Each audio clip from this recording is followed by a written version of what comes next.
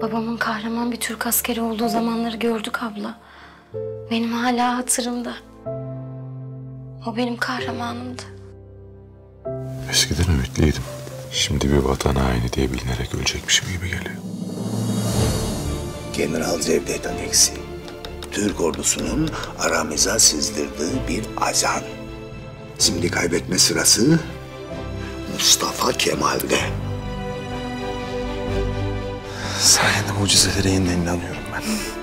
Madem öyle diyorsun, bir gözümüz de bundan sonra Leon'un üzerinde olsun. Kırın kapıyı.